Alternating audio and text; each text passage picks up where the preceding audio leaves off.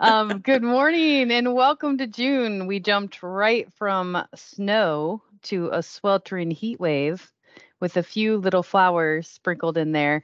Um, but we're really happy that you're with us here today. We are, if you pop to the next screen there, we're halfway through the year, which means we're halfway through this lineup of topics that we've planned out last year.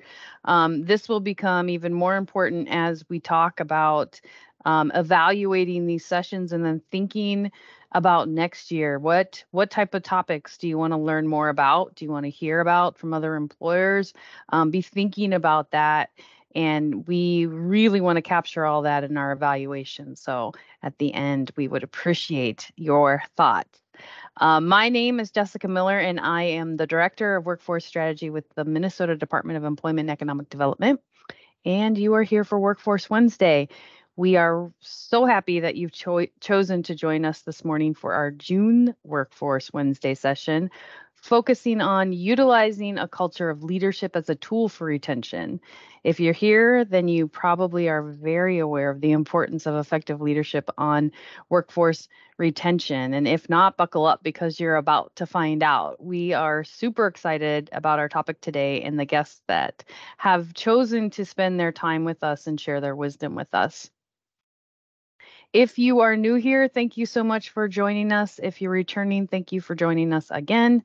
Our session will go today until noon, after which we'll segue into a 30 minute unplugged session where we will invite you to turn on your cameras, unmute yourself, ask questions of our panelists as well as our team of workforce strategy consultants verbally or through chat.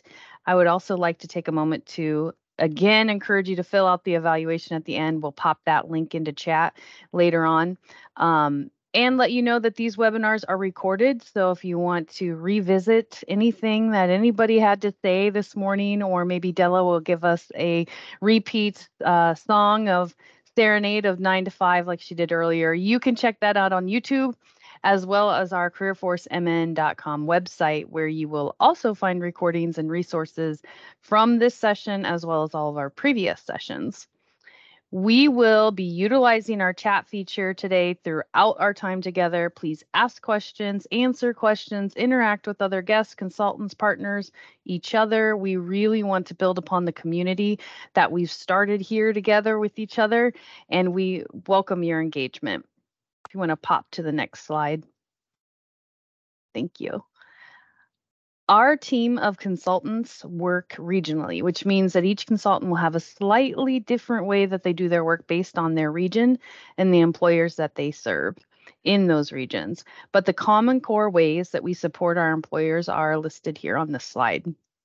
We work with you to identify gaps in your current strategies, ensure that you're connected to your local, regional, and state workforce partners and assist you in building strategies that will help you attract and retain workforce.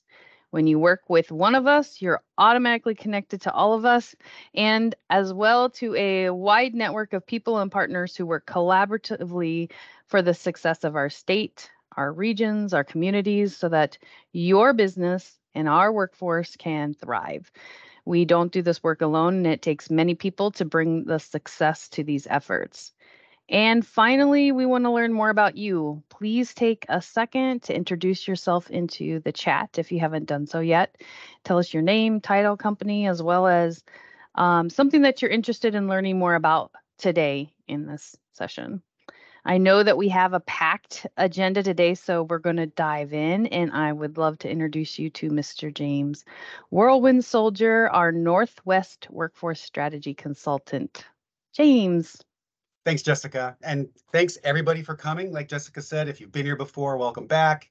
If this is your first time, let us know. Let us know what we're doing right, what we're doing wrong, and what you want to hear from us uh, in the future. And so uh, just like Jessica mentioned, today we're talking about culture and specifically a culture of leadership as a tool for organizations. When we're, as workforce strategy consultants, we work with talent attraction and retention a lot of the time. And so let's focus on that specifically with regard to our conversation. Um, if you've been here before, you know how our agenda uh, looks. It's pretty pretty straightforward. We'll start with some data, a little bit of uh, review some studies that have been done around leadership and employee engagement and culture. Then we'll go ahead and introduce our panel of esteemed subject matter experts who we're just so happy to have here. Um, after that, we'll go ahead and enter right into our roundtable discussion um, and let that uh, percolate and move in the way it will. If questions come up during that period of time, please feel free to throw them into the chat and we'll make sure they get asked during the unplugged session. Or of course, you can take yourself off mute and turn on your camera during the unplugged session and ask those questions of your, uh, yourself.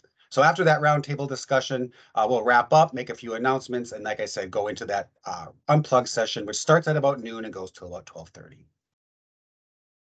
So let's go ahead and start talking about some of this data uh, to make sure that we feel like this is a topic that's worthy of our time uh, and our consideration as business leaders. So uh, according to Gallup, a study that was done by them. Oh, um, oh, I forgot to mention, we'll make sure and put all of the sources of this data into our slide deck. Attaché was also going to share this in the chat so that um, you can drill down deeper if you want to and explore what, what's actually being uh, said within these studies. So according to Gallup, only 30% of United States employees are engaged at work. That's an extremely low number. Uh, and within this same study by Gallup, they found that when measuring engagement, there is a 70% variance in team uh, team engagement based on leadership. That's just how uh, much of a of an impact leadership has on on us and our organizations. Gallup also found uh, within the same study links between employee engagement, higher profitability, uh, higher productivity, uh, fewer defects, fewer injuries, less uh, and less absenteeism. So again, that, that sense of engagement has a lot of impact on different areas of our of our organizations. Uh, according to uh, Peregrine, I'm going to go ahead and just read this right off the slide. 75% of workers who voluntarily left, uh, left their jobs did so because their bosses um, because of their bosses and not the position itself. Peregrine went on in the same study to talk about how these these numbers haven't changed for over 20 years.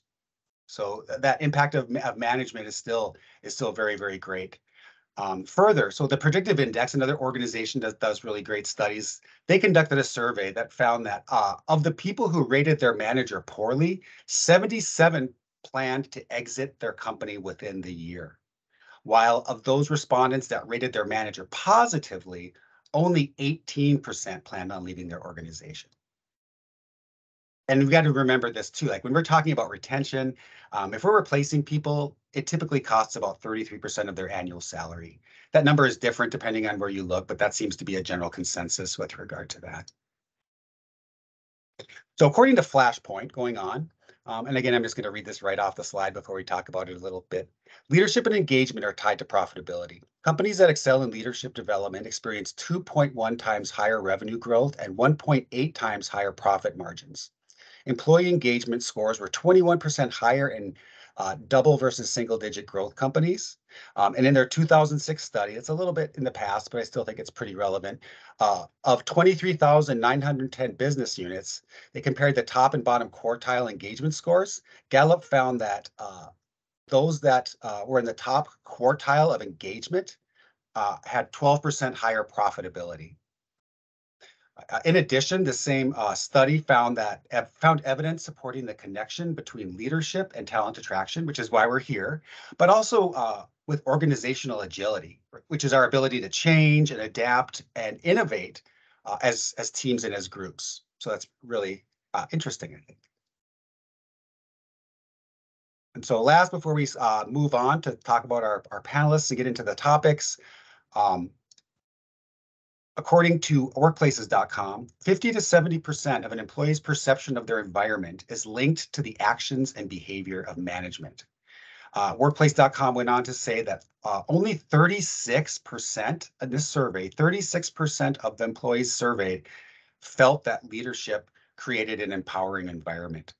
Uh, in the same study, when they asked leadership that same question, 68% of leadership felt that they were creating an empowering environment. So there is a, a bit of a discrepancy there that I think is important to, to mention. Uh, in the same study, they found that when leaders can engage workers with the organization and engage workers with other employees and create engagement with the employees' goals themselves, Um, they found there's a 250% greater chance that an employee will be a promoter of the business, a 405% greater chance that an employee will have a great employee experience, an 845% greater chance that an employee will be engaged. I'm going to share all this with you too. So, and uh, Attaché was doing that right now. So I don't feel like you have to remember all these numbers. Uh, a 1,674% greater chance that an employee will have a strong positive perception uh, of the organization and a 56% reduction in employee turnout. So again, we see over and over again that a culture of leadership and leadership in general uh, can activate employees in an engaging way and, and lead to these really great uh, turnouts within the organization. So, but let's not take uh, these studies' words for it. Let's talk to people that are on the ground right now doing the work and uh, providing us with some great uh, examples. And so I'd like to introduce uh, our panelists and then give them each about, you know, a couple minutes, two minutes to just talk about who they are, talk about their resume and why this topic is so passionate for them. Uh, so I'd like to start with Paula Chapelis. Paula, it's so great to have you here. Uh, Paula is a certified leadership coach, a whole person certified coach, and the founder of Ayana Coaching. She's also the director of Blue Ox Academy. Uh, Paula, could you tell us a little bit about yourself? Yeah, absolutely. Well, thank you so much for having me here, and I am excited to chat about this topic. It's been on my agenda for probably 30 years, which kind of ages me a little bit. But um, so I am the founder of Ayana Coaching and a professional certified coach, and spend a lot of time in leadership development. Uh, through Ayana Coaching, the business that I have, I contract with the Brainerd Lakes Chamber to run their Blue Ox Business Academy, which is leadership development and business education. I also uh, contract with the Initiative Foundation to run an executive director roundtable for nonprofit executive directors. I coach some of the Vibrant and Equitable Communities program. I have a private practice where I do a lot of work with leaders um, in that intersection of life and leadership, mental health. And in addition to that, I also work for a company called Lyra out of California, L Y R A, that does mental health coaching and therapy. And I do mental health coaching with them. So, this intersection of leadership and mental health is just in my world. It's moving around and it's shaking and I'm I'm seeing all kinds of different reasons why it's so important for leaders to have some language around mental health and and not just language but an understanding of how it's important in their role to be able to to hear their employees and to talk to their employees. And through that with all of those awesome statistics you had james i'm like ooh i need to copy those. Um, you know what what's amazing is that you're absolutely right. People leave their job because of their boss typically. And so if i can do any kind of work to help those leaders be better leaders know themselves better um, be able to take care of themselves so that they can take care of their team that that's gold. So thanks for having me. Oh we are so happy to have you here uh, next, let's go to uh, Jennifer Aranda. Jennifer, it's so nice to have you here. Jennifer is the Assistant Professor of Leadership and Civic Engagement uh, for the University of Minnesota Extension Center for Community Vitality. Uh, Jennifer, do you want to take a few minutes and just uh, introduce yourself?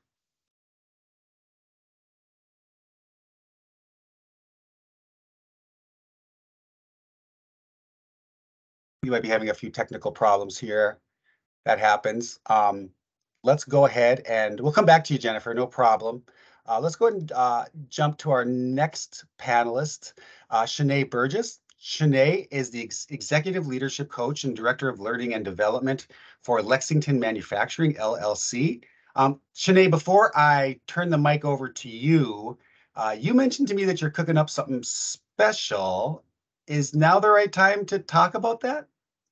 Yeah, um, absolutely. Well, first of all, I'm so excited to be here. Thank you Thanks everybody for just joining us. Um, I'm very passionate about this topic is in my role as uh, overseeing learning and development at Lexington Manufacturing, I've really got to learn the impact that growing your leaders has. And like I mentioned before, if 75% of your employees are leaving for their manager, let's focus on making those managers really great and really strong and giving them the resources. So am I, I've been with Lexington Manufacturing for four years overseeing the learning and development. And through that, I've I've grown some programs and I've seen the impact. And now I am just, I'm eager and excited to share it with others.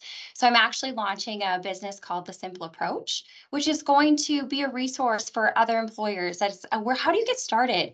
What are the things that are available? And what are some small nuggets that you can get going that cost you nothing to make an impact? So I'm really excited to be working on this and launching um, just to make, again, more resources to make it easier because uh, there's so much potential out there. We just have to let people know that they have potential to be great. So very excited about that. Mm-hmm. Thanks, Shanae. It's so great to have you here. Uh, I think it's going to be a real great conversation. Um, let's move next to Philomena Satre. Uh, Philomena, again, we're so happy to have you here. Uh, Philomena is the, excuse me, Director of Diversity and Inclusion and Strategic Partners with Land O'Lakes Incorporated. She's also an adjunct professor of leading organizational change for St. Catherine's University uh, MAOL program. Philomena, it is an honor to have you here. Yeah, thank you. Hello, everyone. So glad to be here. I am located in the Twin Cities, but as I saw the backgrounds of some of my partners up up north, I'm like, oh, I love the lakes and everything. So glad that you're all here today. Just a little bit of background about me. I lead our diversity, equity, and inclusion work at Land O'Lakes. I'll be celebrating year six in uh, this month, so it's gone snap like that really fast. Prior to Land O'Lakes, I'd been in banking, so 29 years at Wells Fargo, 29, also nine different jobs within HR, kind of midway through before diversity, equity, and inclusion was a field, I got into it through a community outreach role, which, which would later turn into a diversity consultant.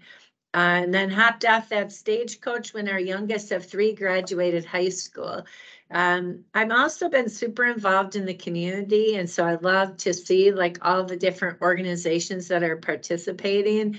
And I often talk about that at Land O'Lakes with our leaders is that importance of that outs, you know, when we think about leadership, that outside in perspective. It's easy, right, to get insulated within our organization and forget about what's happening in our communities and our world and the impact that has on our employees. So um, and then St. Kate's, I'm on hiatus right now, James, because they moved my class to virtual only, and I'm an in-person lady from because it's 6 to 9 p.m.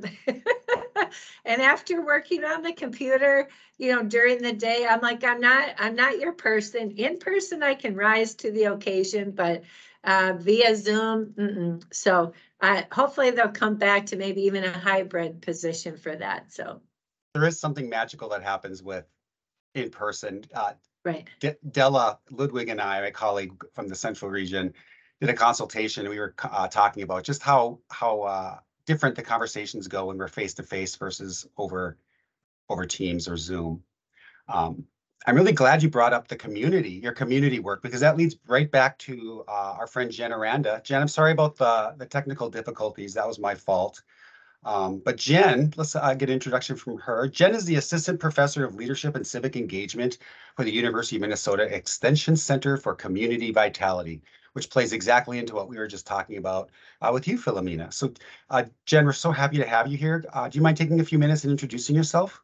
No, I'm honored. Thanks for having me here, James. And wonderful to see everyone here. Uh, as James said, I work for a University of Minnesota Extension, and I'm an educator in leadership and civic engagement. So as Philomena said, you know, I work with community, and my background is in diversity, equity, and inclusion. And Philomena, you know, those words are always changing, right? It used to just be diversity, and now we have belonging. And so I've worked, I'm a seasoned, none of us are older. I'm a seasoned professional And some of my background is in community organization. I've had my own business, I've worked in corporate, and lately I've worked in academia. So it's been interesting to be in administration and then also on the student affairs and really face to face side with students.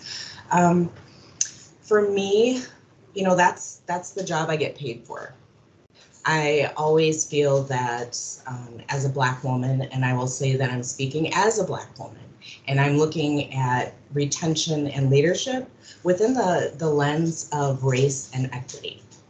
For me, I know that I'm standing on the shoulders of my ancestors, and I'm, I'm really tasked with being a mentor and tasked with supporting change wherever we can, and that includes retention.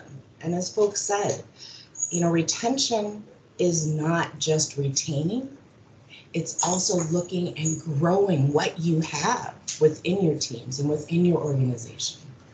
Because those staggering statistics that James shared, they're real.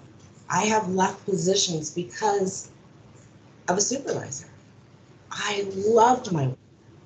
But if I'm not allowed to do my work, if there isn't the recognition of being that leader within your work and having leaders look and say, yes, you are important. They lose out on, on the institutional knowledge that your employees have gained, those KSAs that can't be replaced because they can't be measured. So I'm, I'm ecstatic to be here. Thanks. Thank you. I, I think this is a great opportunity to just go right into our panel discussion with you, Jen, if that's okay. Because I think you've just inspired a question uh, for me. Um, so in previous conversations, Jen, I'm going to try to quote you here. Um, we were talking, I think we were talking about Robert's Rules of Order and just about how it can be kind of uh, intimidating to have to kind of navigate through those spaces. And what you said was um, there's value that comes from underrepresented people learning to navigate the professional and decision making spaces. And I think this applies to what you said about growing what you have and that retention uh, by developing leaders. Um, but also you talked about just a few minutes ago, you referenced institutions also, which is what we're kind of referring to, right? Can you uh, maybe explain what you meant by that and elaborate a little bit? Yeah, I'd love to. Um, so I don't know if folks know earlier this year, uh, creating a respectful and open world for natural hair, the Crown Act was passed. We're not talking about minor details. We are talking about folks' lives and, and what and who they are and who they bring into the workplace. And I know that we'll talk about code switching later, just all of the, the navigation in professional spaces is very different depending on your culture, depending on how you have been brought up, depending, you know, we know Minnesota has its own culture, just as when I was in South Dakota, it did. When I was in New York, it did. Very different. And so learning the language that's being spoken and even the unspoken languages. You know, what about that daily work experience? We don't all have the lived experience that's the same. Again, mm-hmm. moving back into being an underrepresented person, microaggressions daily, colorism, being kept from the table. So how do we navigate those those instances of having to pay emotional labor and tax and balance that with being able to find a mentor, being able to find an advocate, being able to grow in those spaces. We love. So- oh, sorry. Go ahead. No, please go ahead. So we we have that confirmation bias, right? We love um, to know what's going to happen, and with that, we love to have identical people. We love to see ourselves represented, and so that's where that leadership starts.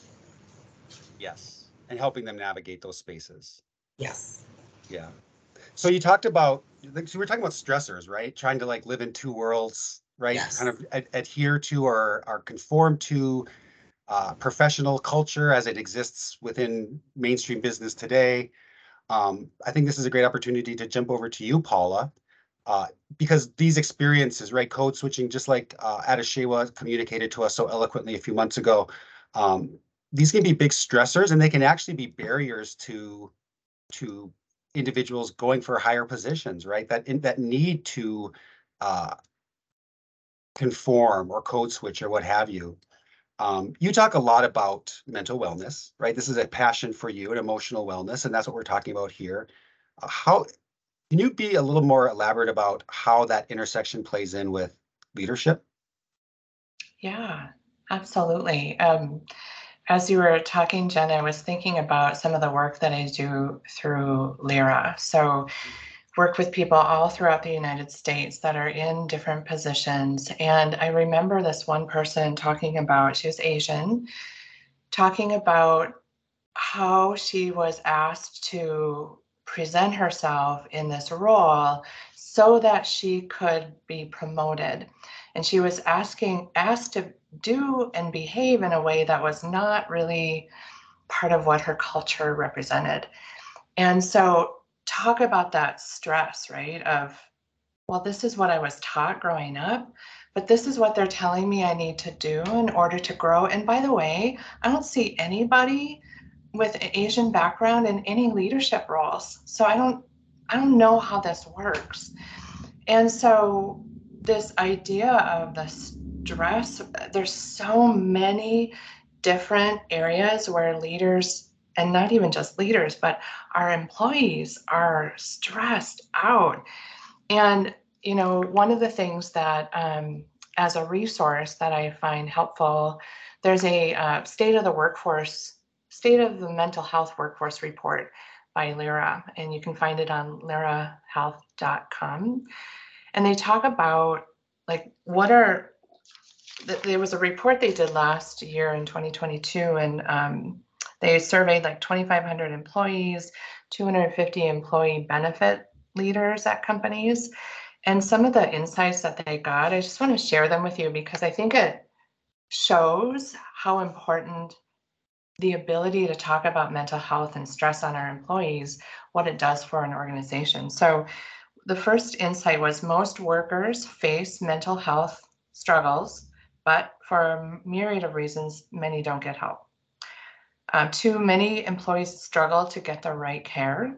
That's huge. And that's actually why Lyra started in the first place is it's very, very difficult to find a therapist, um, to even think about going to therapy, and then maybe not even being able to get in for months and months at a time. And um, and so that's one of the reasons Lyra started bringing in this idea of having coaches work on mental health with people. And it's exploded. And they've been a pioneer in this area. And philomena i think you said that land o'lakes is a customer of lyra as well. And so you know um, the third one is many people are discussing mental health at work. So it's propelling a cultural shift um, managers lack needed mental health resources they don't know how to talk about it. If a leader finds their own struggle and and aren't sure how to talk about mental health for themselves, how are they going to do that with their employees who we know are dealing with a lot of different issues? Um, and then the fifth one, employees are increasingly stressed and burned out, signaling a need for better work design. So absolutely, it's it's so integrated and uh, you know we talk about imposter syndrome with leaders. We talk about managing stress. We talk about boundaries. We talk about how to have those really difficult conversations with your either colleagues or team members or whatever it might be. And so there's a lot of opportunity for growth within leaders. And yeah, so I'll just stop there because I could keep Well, going. That's great. I mean, so we've talked about, uh, and again, this is a, co- a topic that Adeshewa covered so well, but I still want to bring it back up again, especially with regard to leadership and what Jen mentioned about uh, allowing minoritized individuals to get access into those roles or spaces that maybe were uh, they don't know how to navigate. Um, and I want to open this to, to everybody in the panel. This, I think this makes uh, complete sense for everybody to, to, to chime in on. But there have been studies of people who code switch saying that they're not going to stop. I think like it's like 80% of people who code switch say it serves me very, very well. I'm not going to stop. It's I'm getting raises and promotions and special projects. Um, so this is a question for both you, Paul and Jen, and, and of course, Shanae and Philomena. But uh, what do we do in those circumstances? I mean, we know that code switching isn't a good thing, but we still see people uh, applying it to uh, gain better opportunities for promotion and leadership roles. What do you say to that? It's a hard one. First, Jen, or do you want to go?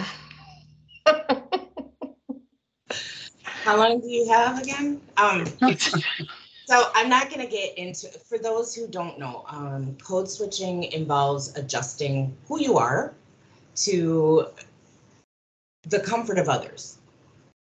And, and in exchange for that, you know, this is Harvard speaking. In exchange for that, you get like fair treatment, quality service, employment opportunities, just like James was saying. There is nothing wrong with code switching. Code switching is about, um, you've learned. That's the language of the oppressor. How else are you going to get going? I think a, a better question for me has been not good or bad, but let's look at the foundations of why we code switch. You know, who are we making comfortable? And, and what are the systems in place that require you to be palatable to get anywhere? Those are the questions that that I would love to explore because it's it's going to happen. Those are the systems in place. To to piggyback on that, you know, working with the individuals that are experiencing this, um, I- often what happens is, you know, we go back to what it is that they value. What are their values? What's important to them? What are they? What are their goals? Like where they want to go? Um, how do they embody those values in a way that they can feel good about? You know and the value might be that they just need they need financial security. They need security. And so you know it's it's helping them understand um, you know in the coaching that i do is helping them understand what what they're comfortable with how they can align with their own values and really getting to that piece for them or with them and actually more in partnership with them So Beautiful. Um, let's move on to f- a question for Philomena, and this will be another one I think people, I mean, again, everybody can just chime in. I, let's make this a great conversation. Yeah. But Philomena, as I was LinkedIn stalking you, I saw a quote on your page. Uh, and this is a quote from Anglican Bishop and human rights advocate and Nobel Prize winner Desmond Tutu. And I think this Yeah. is a really great quote. I've never heard it before, and it was really inspiring. Um, do your little bits of good where you are. It's these little bits of good put together that can overwhelm the world. Uh, what does this mean? And how does it relate to leadership? Yeah, that's great. So just a little bit of background first, James, and our, to our team here. I'm a quote lady. I think it comes from my Irish heritage. So my mom is an Irish immigrant and all those Irish poets and authors, right? And I've always been drawn to quotes to inspire, right? And support. I have quotes all over our house and our kids growing up were like, what's up with mom? But now I think as young adults, they're like, I like this. But with that particular quote, and I'll tie it into leadership, it's those small things, right? It's like I'm on a Zoom call and I'm paying attention to what's happening, right? I walk down the hall at Land Lakes. I'm here today. I ask uh, Shanae, how are you doing? And I stop and I listen, right? So a lot of times we think it has to be so grand that we forget those like little moments that are so important to people. I also pay attention to, you know, what might be happening with my employees personally. and following up with them to just say, hey, how's your son doing now? You know, like those moments, because I think, you know, now that our work is so integrated between work and life, there's that intersection eh, and Paula talked a lot about that, right? So that piece, and then my last thing I'll say is during COVID, I was like, what could I do that could be like that little moment, right? That Desmond talks about. So I became the chocolate lady. So I have a little bag of chocolates in my purse and when retail, restaurants, mail person, I leave the little chocolate and it's like, I look at them, I thank them, and if they have their name on their name tag, I'm like, hey, Sheila, thank you so much. And I will tell you, this is really interesting. I've had people cry. I see you. You're not invisible. I've had people dance, sing. I mean, it's been amazing. So I'm just going to encourage you to get your chocolates. Lindt chocolates and Ghirardelli are people's faves. I'm just saying. so there you have it, James. It's not always about the money, right? Exactly. And and we're talking about culture again. You're creating that that engagement, that uh, great opportunity. Um, this relates to a conversation that you and I had, Sh- Shanae. Uh, Jen, I really want to get, use the word palatable a couple minutes ago, Jen, and I want to touch base on that hopefully at some point, maybe in a, pre, a future conversation. But Shanae, again, on this point, piece of engagement, um, you talked to me when we spoke about uh, suc- a succession plan that you had developed with some of your employees. And I think this is especially interesting because um, the labor market analyst for the Northwest, Anthony Schaffhauser, talks often about uh, a lack of people returning to work after retirement. And that that number is is high enough to where it's actually impacting our, our workforce participation numbers in, in a, a relatively negative way. Um, and we know that these people are returning, um, getting back to what Philomena mentioned, they're not coming back necessarily for the money. There's something else about employment that appeals to them. Um, when we are having this conversation, we talked about those statistics, right? And you said, well, we're not really seeing that at Lexington um, because we're doing this, we have this engagement succession plan uh, with people that are coming up to retirement. Do you want to talk about that a little bit? Absolutely. So this is one of my most favorite conversations to have because it's as as people are getting ready to retire, there's a lot of emotions that they're having, right? They're like, I don't really want to, I don't know if I want to, maybe part-time. And the manager is like, I can't ask them when they're leaving, right? So it's just like, how do you balance such a delicate conversation? So I usually ask them like, all right, let me in on this one. I got it. Um, so from an organization standpoint, we looked at okay, what's our average retirement age? And we didn't know that. So we looked at the last 10 years and we're really digging into like, okay, what is the average and how many do we have that's coming into retirement in the next three to five years? We have 30 that are coming up. And that's critical. We have 300 employees. So 30 employees that have tenure here, it like that's a, a that could be a huge impact on, us as an organization. So I, I thought about this idea as we do this these individual development plans. We kind of work with everyone individually. What do you want? And a lot of times I would see theirs come through, and they'd say to retire. And I'd be like, that's all you want the next three to five years? What? And then you start di- diving in. And I said, as an organization, what can we do to help you prepare for retirement? And a lot of times, as you're asking those questions, they're like, well, you know, I'm not really sure how the, the benefits work when I hit 65. I'm not really sure about my 401k. What do I do? And I said, what if we brought those resources to you here at work? And you, we create this plan, and then every year until your retirement, they're, they're going to come in and check in on you and make sure that you you have your plan. And they're like, yeah, they're excited, right? And I said, in return, how do you feel about helping us as an organization, creating a plan for all your knowledge? How can we make sure that we get someone up to speed of where you're at? And so they have the excitement and we're helping them. And then in return, they say, of course I want to be part of that because now they're not as afraid. You know, a lot of times they have that feeling of, well, if I'm not doing it and no one is good at as I am, then I'd like I've failed. You know, so it's bridging this gap of like they're so excited to have this person come in, learn what they know, and then see them being able to do it without their help. And a lot of times they're like, I, I'm not going to work part time. I'm, I'm ready. I'm done. I'm going to stick to this date because I have a plan. And Yeah. it's really a beautiful art to just see it come together of like so much confidence coming from them. And then security for us to know that they're not, you know, sure they might decide to leave early and that that's okay. We accept we, we want that for them, but making sure that as an employer, we're supporting them where they're at um, at every stage. That's great. And it's almost like you're creating a legacy for them, right? I think that's something we talked about too, where they, they get really passionate about that. Um, and again, that's one of those pieces of engagement that's that's different. That's that piece of chocolate. It's not the. It is, yes, absolutely. And you'll see them creating their own little sheets of like, oh, so I, I made this document and they can't wait to share it. And I was like, people are so excited to share what they know. We just have to give them an opportunity to do it.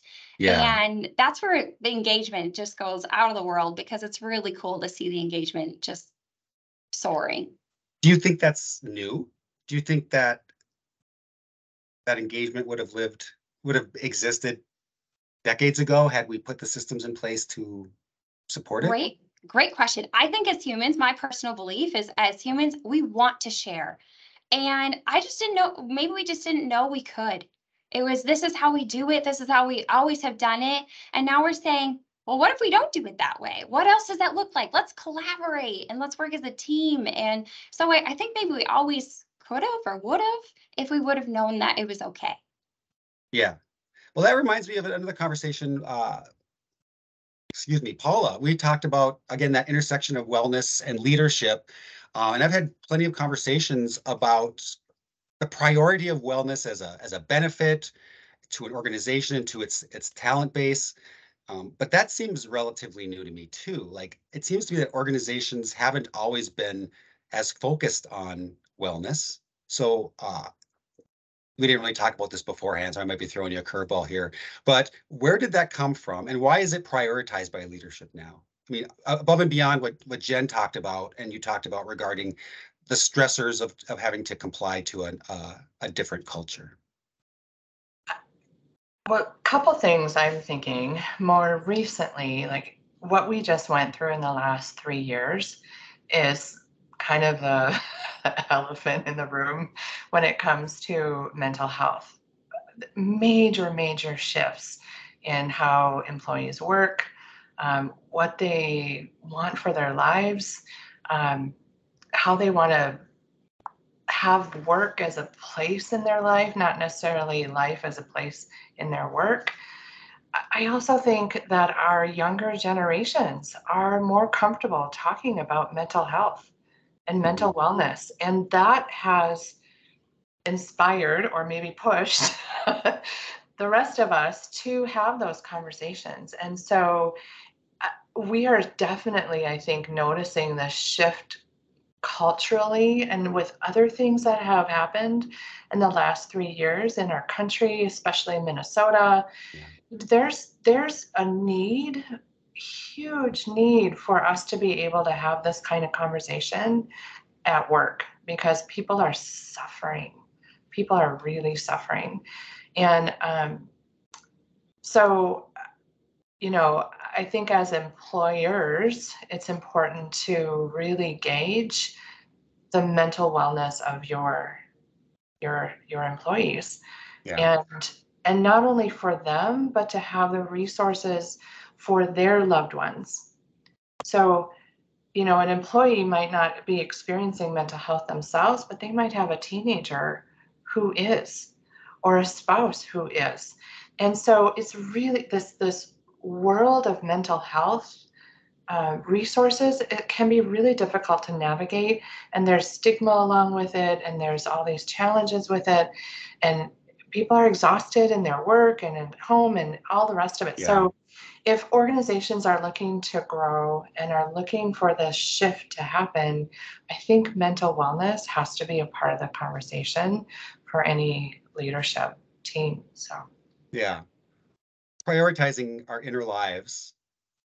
Um, in a previous Workforce Wednesday, one of our one of our um, I think it was Nancy Lyons mentioned that uh, a lot of it is because us Gen Xers raised our kids with a sense of confidence and their voice is important and that sort of thing. And so they're prioritizing things that maybe we didn't prioritize in the past because we were taught to just kind of keep our mouth shut and keep our head down, stay in our lane, so to speak.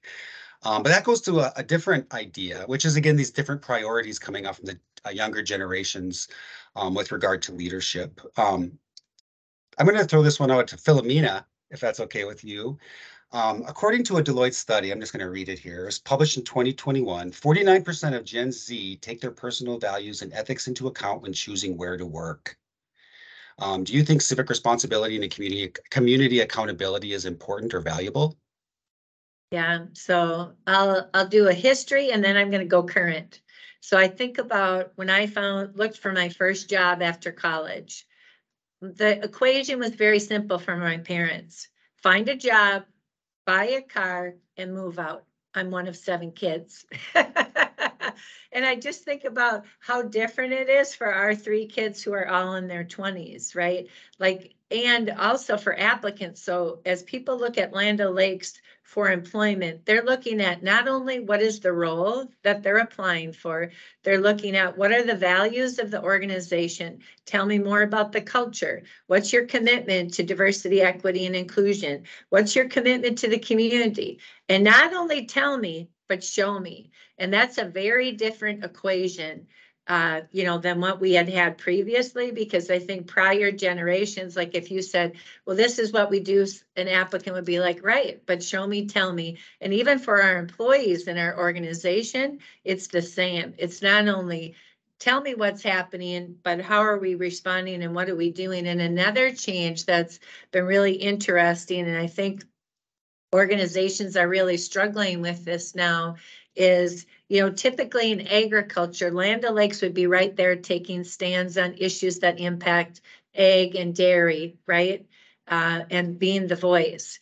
And now our employees are like, yeah, that's really good and that's super important. But what about some of these social justice, racial equity issues, right? Women's rights, different things that are happening. And so I think the really challenging part for us as organizations is figuring out what is our lane and how do we best do that? Wow. Was, is that difficult work? It is difficult work. It Mhm. is, and trying to maneuver, but I think the power, and that's what I think is so amazing about this organization. I also co-lead this Twin Cities DEI roundtable. I'm in an egg roundtable, a dairy one. But why I say that is the importance of community. And we don't, there's not a history book that we can necessarily say, how do you respond to, right? I mean, there's lessons we can learn from history, but there, things are happening at such an accelerated pace. And so I think that's the power of being together and talking about these things and learning and saying, I learned this today. How might this apply to my organization? I think that's the power. Yeah. I think that's beautiful. Again, you know, we're talking about leadership, we're talking about employee engagement, um, bringing all these ideas together. Um, I have a, a more of an objective question for uh, Shanae. Um, we, when we talked last, you mentioned your organization, Lexington Manufacturing, has about 300 employees, and you have a quite robust leadership development system in your org, right? You have the Grow program, you have the Rise program, you have the Lead program. All three of those would have been fun to talk about. I don't know if we're going to get time, but uh, how do you as an organization justify such robust leadership development programs in what many would consider to be just a mid-sized company? Yeah, great Like, question. So, oh, yeah, Go ahead and answer. We're so gonna have a- e- essentially, like uh, we've heard, it's changing. We cannot continue to do what we've done. And, you know, we are manufacturing, we have to do it differently. And so when we talk about who is someone as a whole and what are they bringing into the door, they're not just running a machine and being happy. Like no one says like, that's all I want out of life. It's we mm. want purpose and we want passion and we want engagement. And so it's we can do that at every level, but we have to ask what that means to them. So when I think about the three academies, yes, it's to hit different levels. Our grow is the first 90 days. We have our highest turnover in the first 90 days. So we have a very specific program for them. And then we have our rise, which is, you know, our middle level le- leaders, and then our lead, which is managers and above. And not that they couldn't partake in all of it, because hey, if something meets you over here, we're going to let you, and if you're in grow, we're going to let you attend this different training. But it's really just expanding that machine operator one and machine operator two, they might do the same, but they're totally two different people and they're going to want different things. So I think that's the biggest thing is like, yes, as an organization, let's have a plan, but let's let's allow gray so we can meet you where you're at. So that way it's not this is how it is because everyone wants their own plan. They want they want to jump around, they want to try something new, they want community involvement. And Yeah. so that's our all everything that we've grown into these programs. Is at what level do we kind of have a plan for you already? And if you want something further, you just got to ask and let us know. And then we're going to see how we can meet you right where you're at. That's wonderful. And that plays into what Jen was talking about with regard to, you know, we're all different. We're all coming from different cultural experiences from, you know, we, we are all, no matter what color, skin, gender, whatever, we're all thousands of intersections, right? That make us unique. Um, so I appreciate that. I appreciate that idea that it, you know, leadership has to be relatively form fit for the, for the organization and for the people. Um, I can't believe this, but we're almost out of time already. Uh, we, we left a lot of questions on the table. Um, and so what we always like to do at this point before going into the unplugged, and please remember at the unplugged, you can take yourself off mute and turn on your mic and have a conversation. Uh, we want to end with uh, each of you giving uh, one piece of advice or something to take away uh, as uh, audience members that we can maybe apply at our organization. So uh, Paula, can I start with you?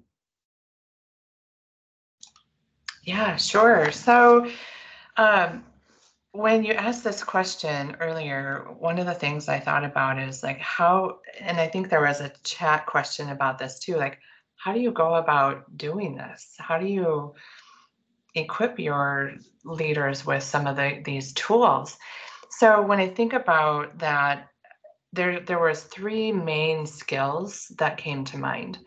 One was teach them how to actively listen.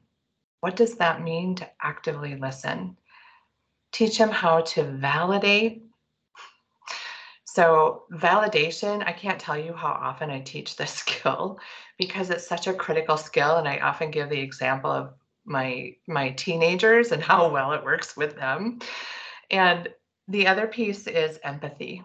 Like really teaching empathy and how do you do that and one of the things that i often um, share as an example of how to do that is to to think of that person as their five year old self as a child what was that person's essence as a child and for whatever reason sometimes that works or think of their pet like what is that feeling they have with a pet like how do they engage in with that pet and try to understand what that pet's needs are without communicating really right so um, teaching teaching your manager some of those skills would be my um, at least one piece of advice That's amazing.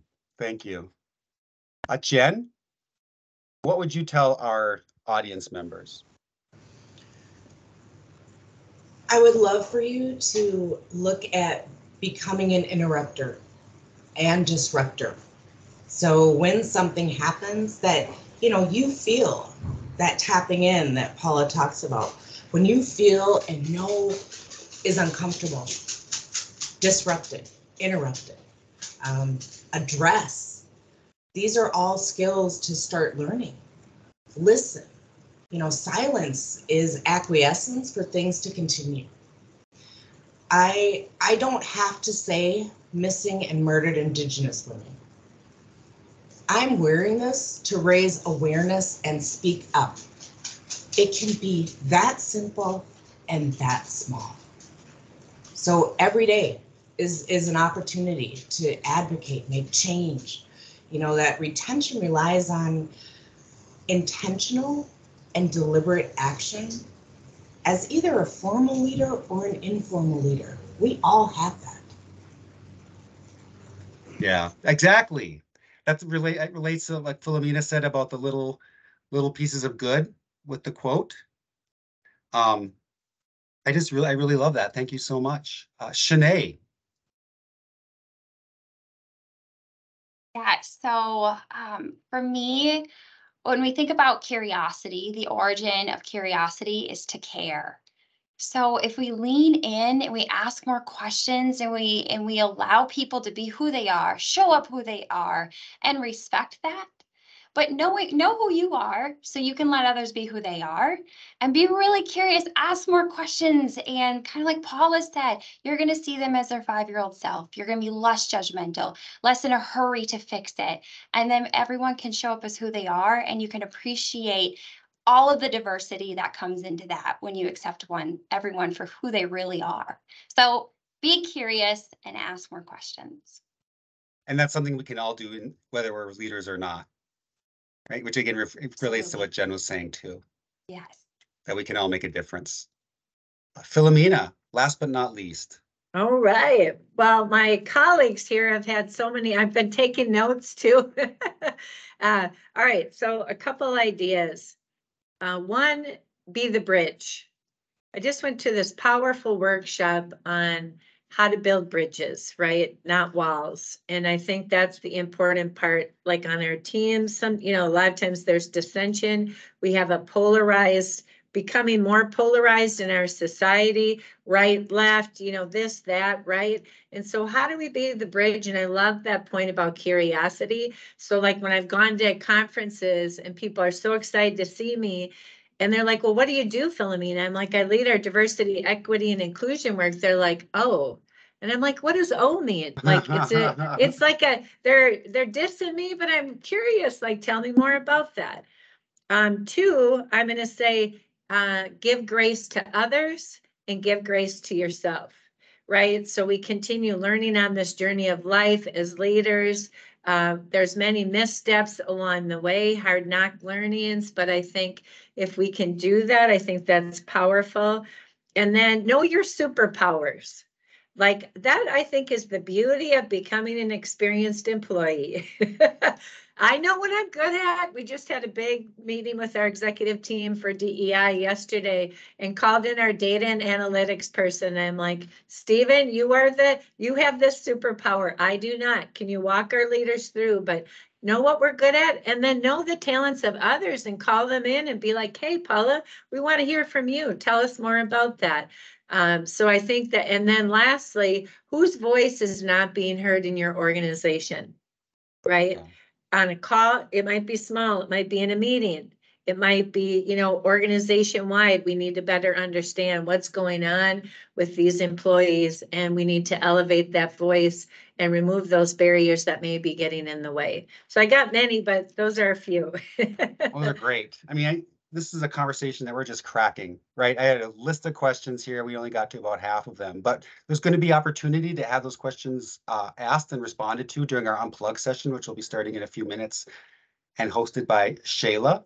Um, but at this point, I'm going to uh, turn it over to Shayla. Thank you all panelists for participating, being part of this. This was so amazing. Um, I'm going to turn the, the microphone over to Shayla, who's got a special announcement. Um, and then we'll let Della uh, close up the first hour session and we'll move into our unplugged. So Shayla, would you like to take over? Yes, uh, do you still have the slides up or do I need to, yep, I can do it. Sorry. Okay. sorry, yeah.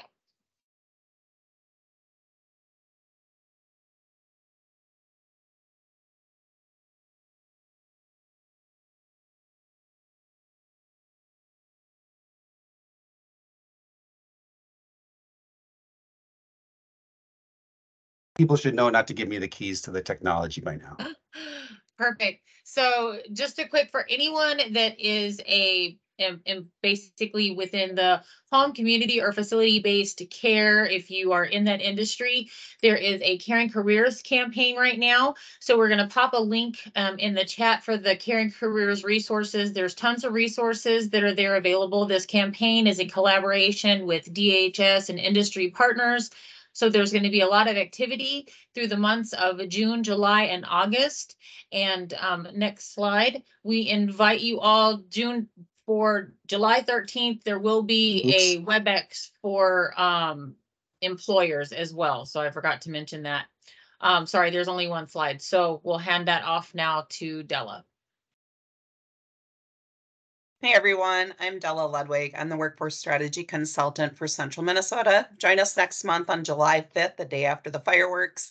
Uh, Workforce Wednesday's topic will be growing and expanding your business. So join us for an engaging discussion to learn about strategies for growing and expanding your business uh, through the introduction of DEED's Economic Development Team and the expansion and training grants available um, to your organization. So whether you're hiring three or more employees, looking at training employees on new equipment, or just expanding your physical business, DEED has many different funding opportunities available for you. So we'll be discussing that. And then we can go on to the next slide. And then um, I'd also like to thank our panelists for uh, leading the presentation today on uh, culture of leadership as a tool for retention. It was very educational and make sure you stay tuned. Um, we'll now be turning it back over to Shayla for the unplug session where we will turn off the recording, unmute our mics and turn on our cameras so we can have an open conversation uh, directly with you. So please give us a quick minute uh, for us to make this uh, quick transition and allow you to turn on your mics and cameras. Again, thank you. All right, And I will shut that recording off. perfect. And